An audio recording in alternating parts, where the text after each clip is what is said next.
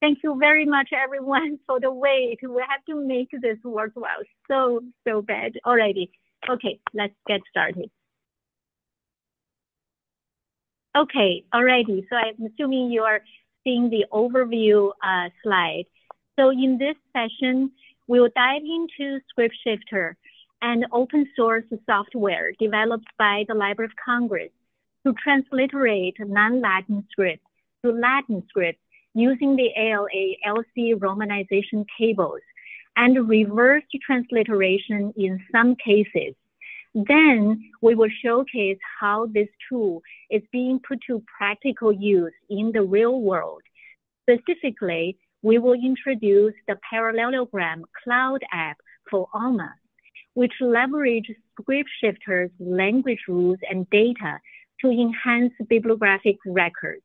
This app draws from trusted sources like WorldCat and LC name authority file to create accurate parallel fields in non-Latin script bibliographic records.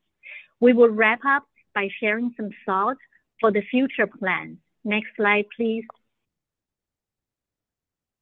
Alrighty. Let's take a moment to understand the need for a tool like a ScriptShifter.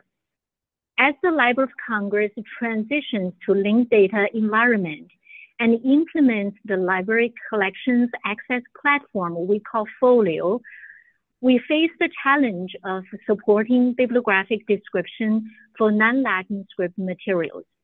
Right now, the Voyager Transliterator is a MARC-based tool that handles this task, and it's designed exclusively for the Voyager system which limits its future use. This is where ScriptShifter comes in.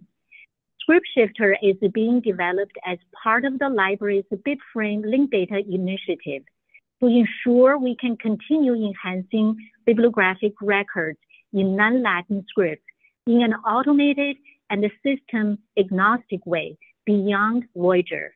Next.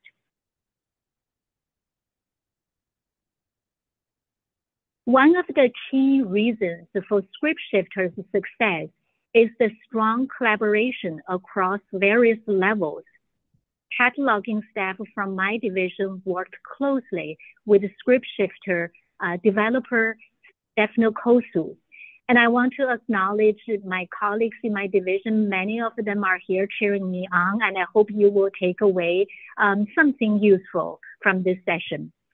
This collaboration extended to the library's overseas offices as well. We are especially grateful for the expertise and support provided by partners such as the Princeton University East Asian Library, the University of California at Berkeley, and Bar-Ilan University in Israel. Together, we developed and refined transliteration tools for Korean, Chinese, Hebrew, and Yiddish. Additionally, we worked with programmers, software engineers, and linguists, both in the US and internationally, to integrate external tools for languages such as Arabic and South Asian languages. Later in the presentation, we'll showcase the full list of languages supported by ScriptShifter. Now I'll hand it over to Stefano, who will take us through an introduction to ScriptShifter. Hello. Uh, so, uh, what is ScriptShifter in a nutshell? Um, it's essentially a very simple uh, service. Uh, it's a it's an online service, as Jessalyn mentioned, and it does a very simple thing. It transliterates or transcribes uh, text, plain text, between different uh, scripts and languages.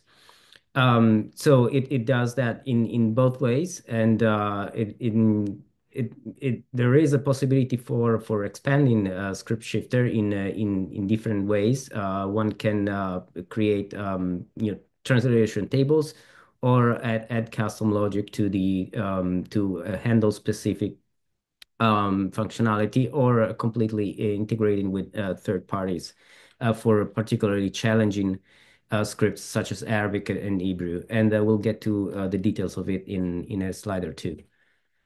Um, functionally, um, Script Shifter uh, has been designed to replace an existing um, uh, Library of Congress tool uh, that was uh, called a, uh, that was inside the, the Voyager um, Library of Congress app.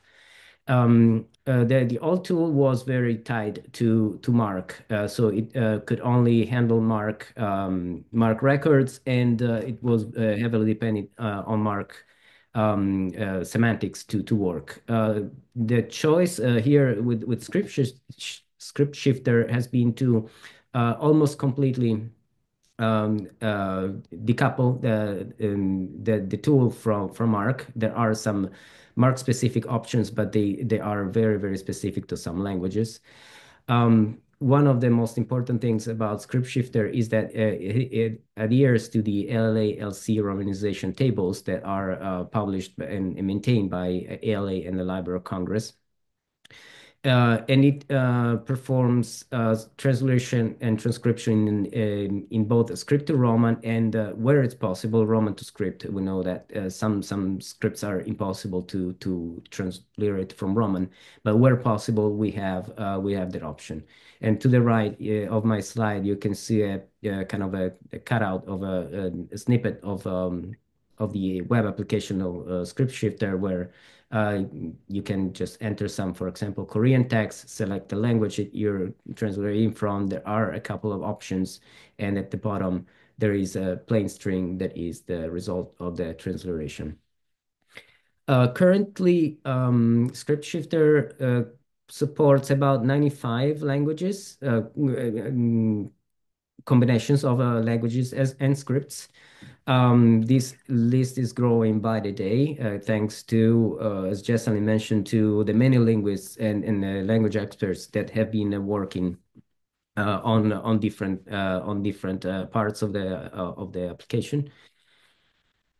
Um, and so um, also, Script Shifter has some different uh, options, uh, some general options, for example, for capitalize uh, the output uh, and uh, also language specific options like you see in the in the screenshot uh, to the right. for example, for Chinese, we have maybe the only MARC um, mention that we have in the application where you can insert MARC, the, the code of the MARC record and uh, uh, that uh, string is handled in a, in a specific way. For example, for um, MARC record 700, I believe, numerals are interpreted in a different way.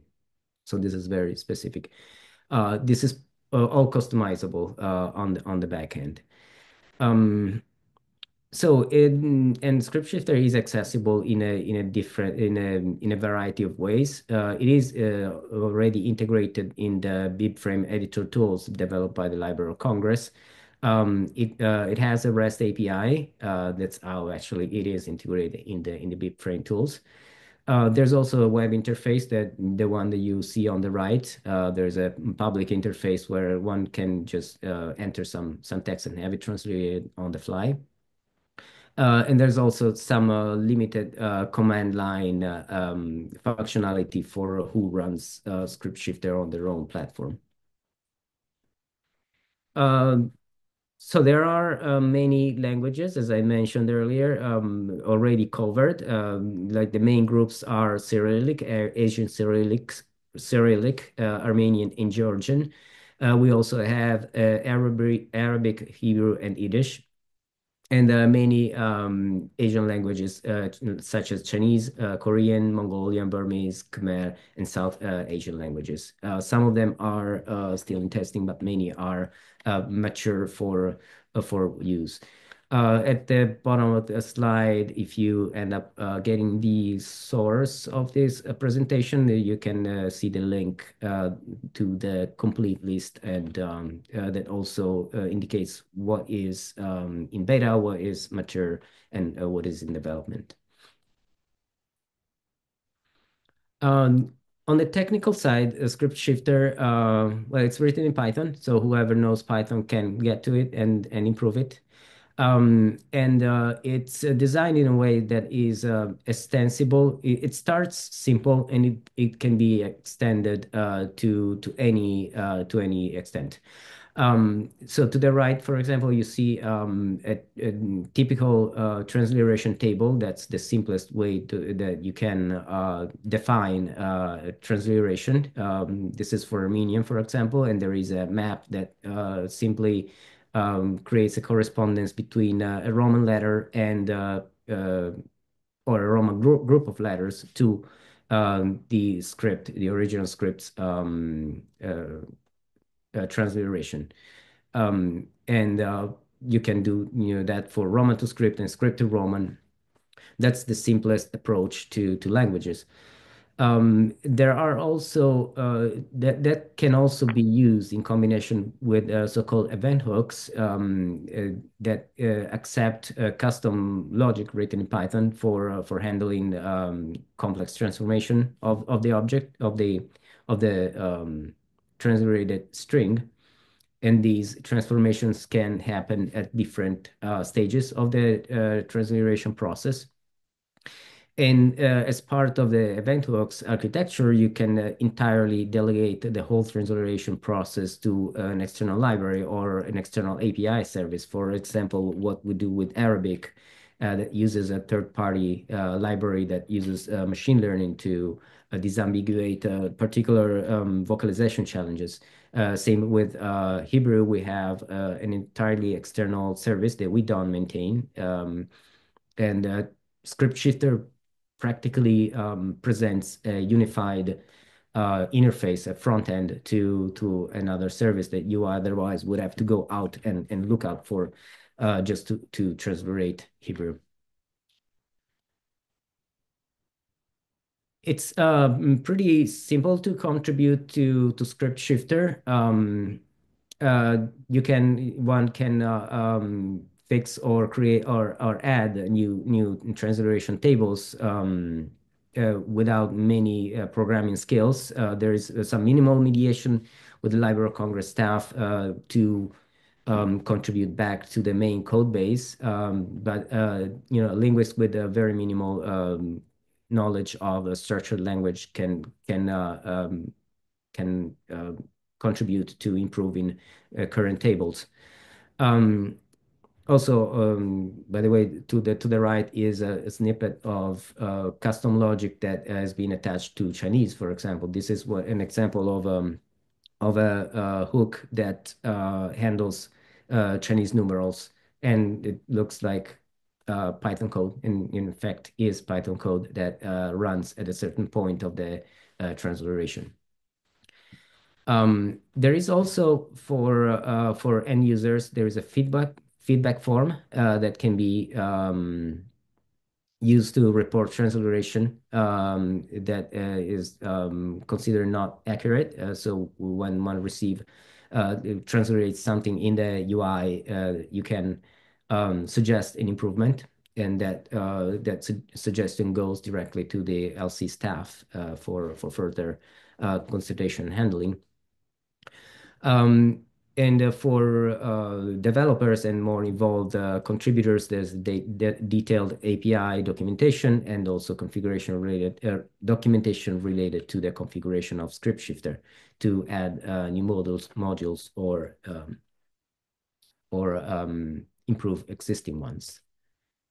And now I'll hand it over to Tom, and I'll keep uh, advancing the slides. So Tom, please let me know when you need to to go fur further.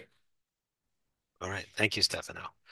So uh, I'm going to talk about parallelogram, which is another tool that's used for script conversion and one that, that very soon in a future version is going to benefit from all this great work that, that Stefano was just uh, talking about. Oh, I think we lost um, Okay, if you can go back one slide. Yes. Okay, great. So uh, just some background about this. Parallelogram is a cloud app, uh, basically a kind of plugin for the Alma library management system. Uh, it was originally released in June 2022 by Princeton University, and it's also used for converting between scripts, but uh, it takes a totally different approach than Script Shifter. And uh, in just a moment, we'll we'll get into the details of that approach. But rather than these approaches being uh, conflicting or, or, competing approaches, really they're, they're two approaches that, when combined, can be something even more powerful than, than either one of them individually. And so, thanks to these APIs that Stefano was talking about, uh, the next version of Parallelogram will be able to uh, incorporate uh, these results into its own results. So now um, I'll just go over an example just to, to show how the existing version of parallelogram works. You can go to the next slide now. So uh, this is an example of some fields from a record. I, I should mention that um, parallelogram currently works with MARC records. So all of these examples are MARC.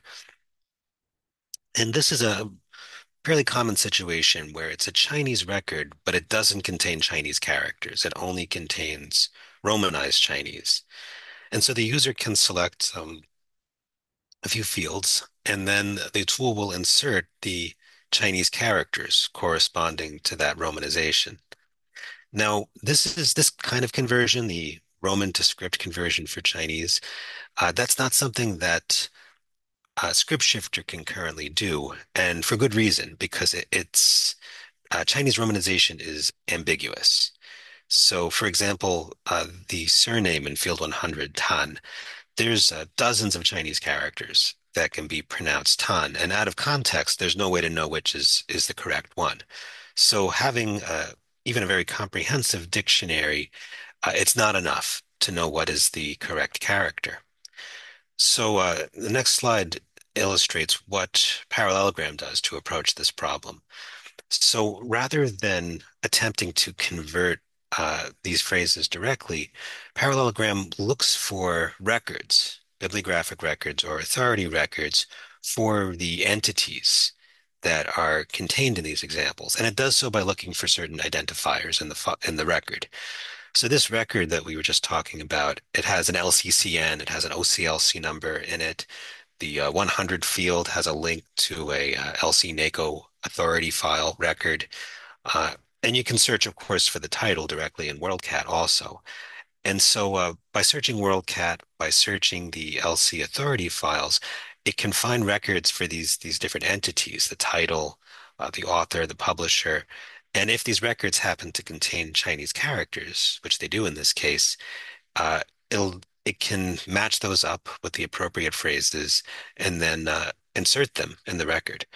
So in a way, it's not really doing a conversion. It's finding examples of the phrases that the user is interested in uh, from other records that already exist in these databases.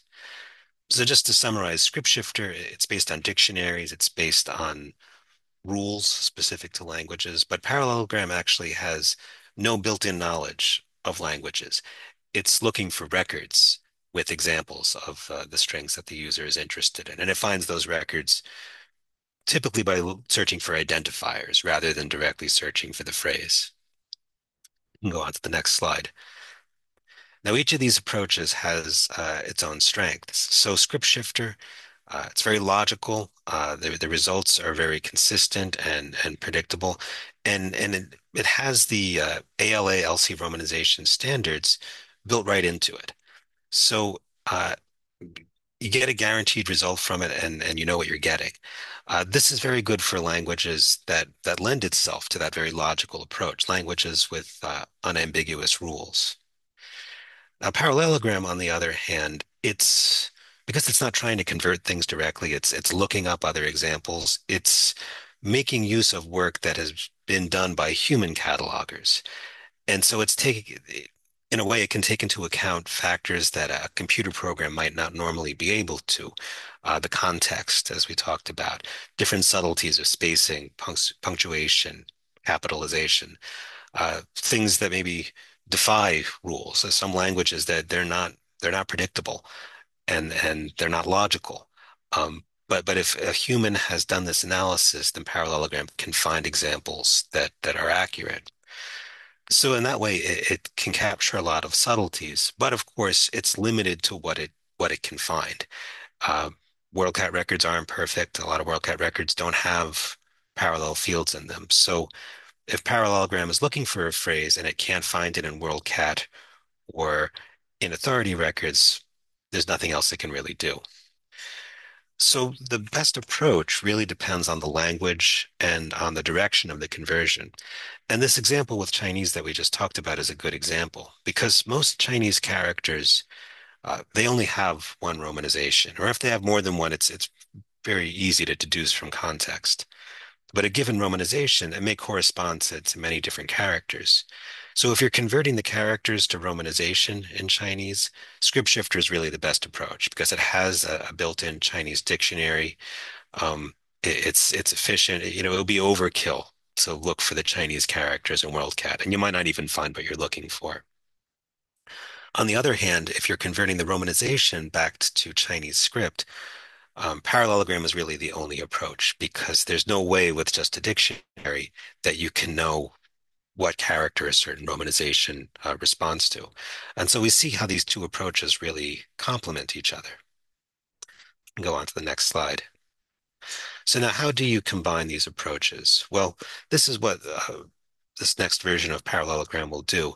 Uh, it starts off going, you know, taking its normal approach. It will uh, search for WorldCat and authority records using the IDs it, it finds in the record.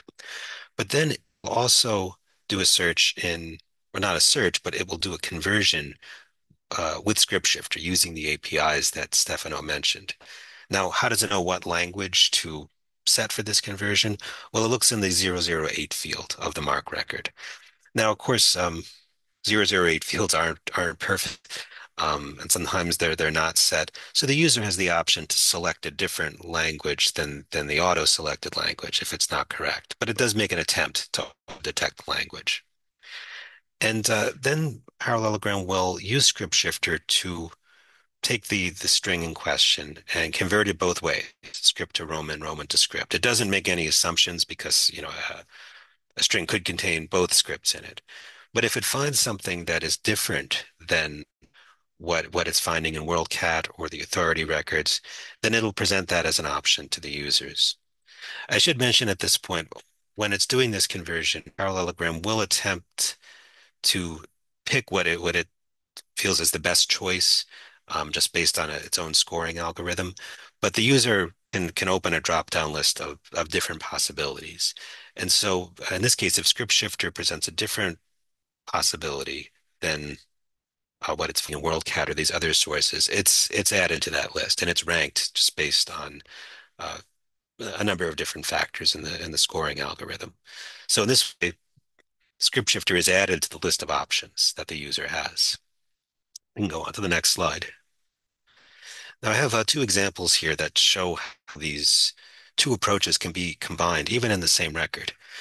So this is uh, an example of a record for a an item that's in the Georgian language. Georgian is the main language of the record, but it also contains Russian in the record. So there's actually three scripts that we're working with here: uh, Roman script, Cyrillic, and the vernacular Georgian script.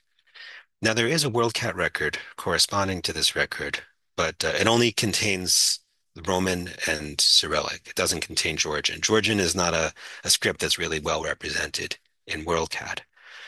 So what it does, it, it, it finds the WorldCat record, it inserts the Cyrillic script where it's able to find it, but then what it isn't able to find, it runs through ScriptShifter. And because uh, the 008 field is set to Georgian, it knows to to run that conversion, you know, uh, on Georgian. It, it treats it as Georgian script. Well, the result is that, uh, as you can see in the 246 field and the 260 field, and even in a portion of the 245, it's able to insert Georgian script uh, where appropriate. So in this way, it's able to combine both approaches, uh, even within the same field of a record. We can go on. Now, here's another example that's interesting in Urdu. And uh, in this case, so the, the original record, it only contains the Roman script. Now, there is a WorldCat record corresponding to this, but it doesn't contain any Urdu script. The WorldCat record really isn't helpful at all in this case. So it uh, parallelogram used the script shifter to convert the Roman script to Urdu script, but it also looks at this uh, NACO authority record, uh, which is referenced in field 100, and it finds a, a slightly different version of that name in Urdu script, which is uh, a little more accurate than uh, what was produced by ScriptShifter. Now, I don't know Urdu. I can't comment on what the difference is, um, but but just consulting with a, colleague who knows Urdu, he he was able to confirm this.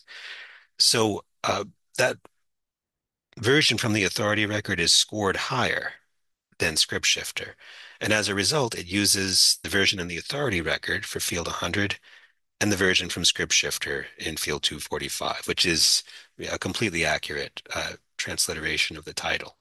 So again, that, that way it uses whatever whatever is producing the best result in a given situation, it's able to use that in the record. You can go on. Now, besides using the ScriptShifter API for doing the actual conversions, uh, it's also able to do that to uh, know the specific language-specific settings for each language. ScriptShifter has a number of different uh, flags and options for, for different languages. Now, these two screenshots are from the settings panel in Parallelogram. And as you can see, if, if the user uh, selects Hebrew as the language to use for ScriptShifter, well, it, it then displays some options specific to Hebrew and also specifies that uh, for Hebrew, script shifter can only do script to Roman. Now, on the other hand, if they select Thai, well, the settings panel changes to uh, offer those those options that are specific to Thai.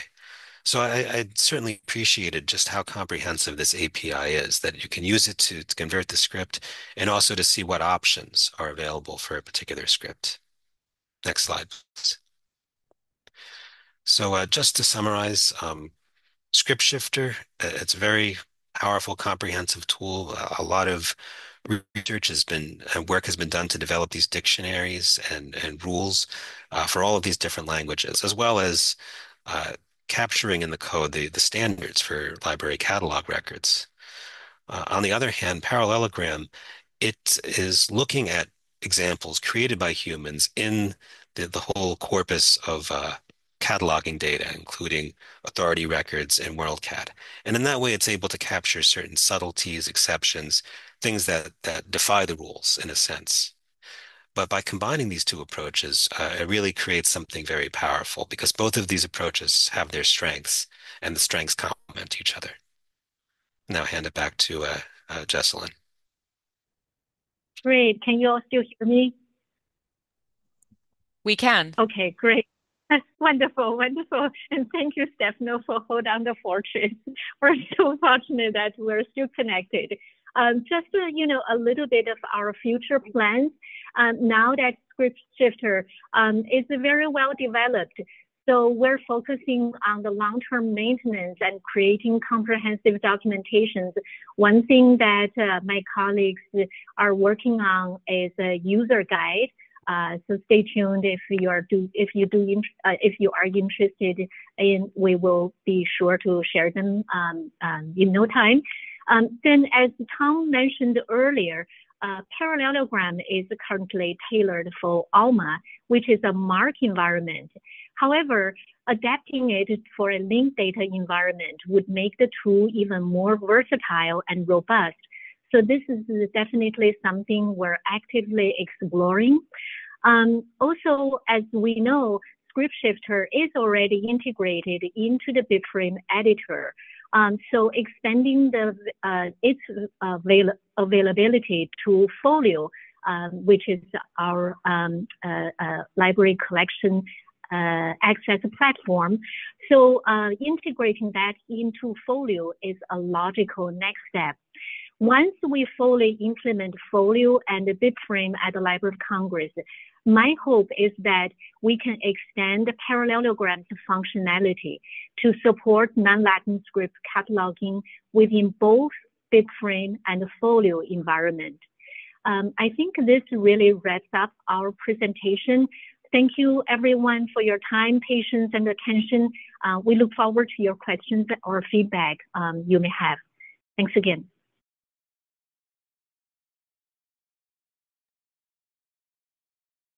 Thanks again for that, and thank you for coping with the uh, the technical issues that came up.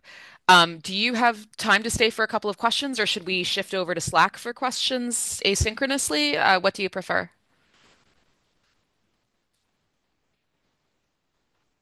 Um, I think for our presenters, um, we are flexible. However, um, the host would like to uh, conduct um, the next part.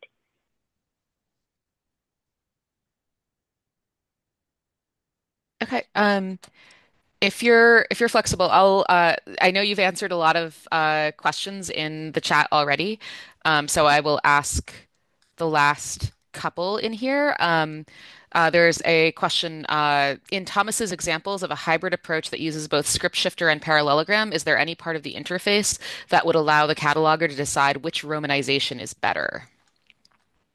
Uh, yes, actually, um, parallelogram does allow you to give feedback on its its results. Um, basically, when it produces a transliteration, you can you can go into the field and you can say, "Oh, th this this isn't correct," or you can select one option of a number of options, and that will it'll remember what you choose, and that will affect its scoring algorithm going forward and what it gives preference to going forward.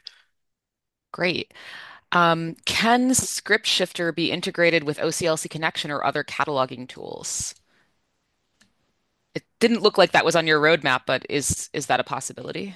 Can it? Yes, because it has an API. Uh, it hasn't been, but someone can integrate it anywhere uh, that you know can can interact interact with it REST API. Wonderful.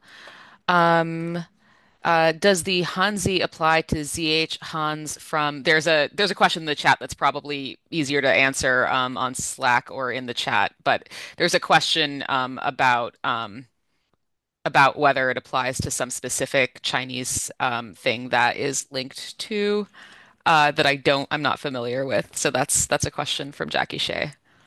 Um, I'm not uh, seeing that one in the chat. Uh, it's a ways up. Um, this was at about 2:15 p.m. Um, I can repeat, I can um, copy it to the end of the chat. oh, it's so yeah, it's the link Oh, is basically to the Chinese dictionary that is okay, built in to Script Shifter. So, well, I guess this is really for S Stefano then. Uh, we're getting a little bit in the weeds here, but uh, this is how. Um, so what you link to um, is um, the second part of um, of a Chinese table. So the tables in in uh, Script Shifter are uh, hierarchical and they can inherit from one another. And the reason why Chinese is split in two is because Tom has been maintaining the main uh, body of the um, of the uh, Chinese um, transliteration, which is uh, in the in the code is the underscore Chinese base. And what uh, you see here, that Chinese.yaml is just the overlay for numerals that I've been maintaining. So I don't want to step on Tom's toes when he um, updates the uh, his uh, table, so he can just drop his table in into Script Shifter, and the the the second table would just overlay the the numerals um, to um, to Tom's um, table. I don't know if that is clear or if it makes sense, but that is not the complete uh, Chinese transliteration table. In fact, there's almost nothing in it. got it. Um, uh, There's a lo there's a comment from Sarah Adams um, uh, saying that she'd love to if if her library could use Script Shifter to update slash enhance so many of our older catalog records where the main fields are purely transliteration into Latin script. It makes me sad slash frustrated, for example, that a speaker slash writer of a non-scripted, non-Latin scripted language can't search in that script to receive results of resources created in that script. Slightly a word salad. Sorry. I think too a lot about how languages and scripts are a DEIA issue. These kinds of tools could be useful in proactively updating our records to take some power away from the linguistic colonization where it has occurred in library catalogs, etc. And there's some hearts and other emojis on that. Um, and then I think the last actual question in here is how accurate are the tools? Has there been assessment done? And it sounds like you're you're using feedback from users, but um, what's I guess what's the uh, the process for that? We're using a number of tools. uh, we have some uh, um, automated tests that um, some catalogers have provided some strings that um, we can run automated tests uh, every time we want it. And some of them are not 100% accurate. You know, some of them have, have some, some gaps.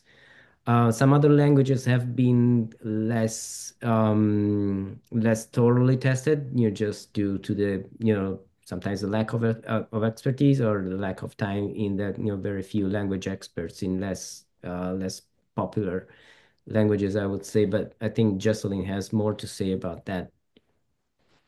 Well, I think uh, uh, as a developer, Stefano really is the key there to uh, collaborate with us. So we provide language expertise uh, to confirm and verify uh, uh, the, the, the text results that uh, he produced from the tool, and then we can verify from the language perspective whether the transliteration is accurate or not so accurate.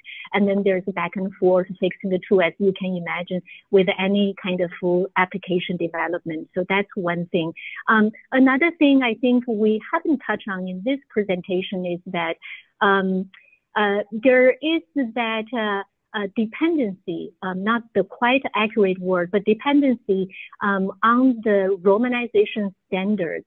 So the romanization standards um, has to be designed to be conducive for ma machine manipulation. And this is an issue that uh, Stefano um, has been struggling with, and we have been really working, you know, sort of exhaustively to try to find ways uh, to accommodate um, you know, any sort of machine manipulation. Uh, so there is that limitation uh, there in terms of which languages we are able to develop the transliteration tools. And I want to take this moment to also uh, thank colleagues in my uh, in the library uh, network development and MARC standards division. Um, I think Matt uh, Matt Miller, uh, who is on the call. Don't know if he's still here, but he helped answer one of the questions, and he's one of the uh, key supporters in that in that division. It really takes a lot, and we have technical technical expertise, um, Stefano and Tom with the you know parallelogram, and luckily in my division we have a, uh, a great number of language expertise. And I mentioned, you know, the conducive of the romanization standards. So there are several things uh, that come into play. Um, I want to just maybe mention, uh, you know, folks' interest and desire in uh, seeing more languages. So it does take uh, several factors, including indigenous languages. I, yeah, that's all. Thank you. Thank you. Um, and yeah, there there was a lot of back and forth in the chat about indigenous languages. So it's this seems like a a, a keen area of interest. Um, I'm sorry that there isn't more time for discussion. This is like such a rich uh, like a, a rich topic. Um, so hopefully some of you can join in on discussion on the the conference Slack.